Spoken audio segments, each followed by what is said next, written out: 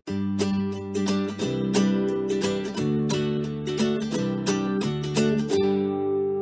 مرحبا بكم مشاهدينا الكرام في موعد نشرة أحوال الطقس. يطلع عليكم من قناتكم قناة الوطنية تيفي إذا نبداو نشرتنا الجوية مشاهدينا الكرام بالصورة اللي اخترناها لكم. نروحوا بكم لإحدى الأماكن الجميلة والسياحية بامتياز اليوم. رحنا بكم إلى صحراء الجزائر بالضبط من إليزي.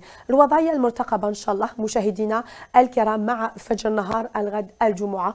إذا اضطرابات جوية راح تستمر إن شاء الله. شهدنا اضطرابات جوية أمطار غزيرة بدات من ليل الثلاثاء الأربعاء راح تستمر حتى نهار الخميس إن شاء الله. أمطار خير في الموعد. على عنابه طرف سكيكدا كاين ولايات راح توقف فيها الأمطار لكن تكون تبقى أجواء غائمة مع احتمال بعض الزخات من الأمطار. على الجزائر بومرداس تيبازا زيرالدا امطار راح تكون في الموعد بإذن الله على قسنطينة على البويرة على بجاية تيزي وزو.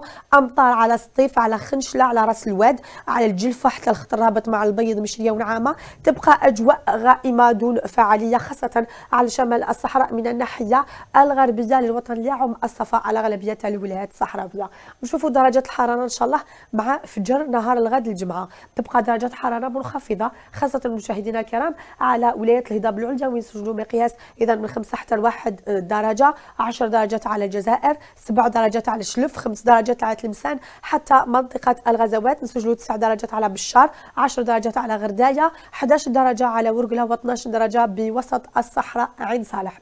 الوضعية المرتقبة إن شاء الله وبإذن الله بعد ظهيرة نهار الغد الجمعة. راح تستمر الأمطار على الولايات اللي سبق وذكرناها إن شاء الله. تبقى أجواء غائمة على الجزائر على الشلف كذلك على منطقة الغزوات دون فعاليه على شمال الصحراء الناحيه الغربية تبقى أجواء غائمة دون فعالية ليعم الصفا على جل الولايات الصحراوية.